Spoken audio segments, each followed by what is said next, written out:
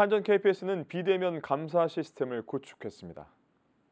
KPS는 포스트 코로나 시대에 맞춰 기존의 대면 방식이 아닌 비대면 방식으로 진행되는 랜선 오디트를 구축하고 관련 매뉴얼을 제정했다고 밝혔습니다.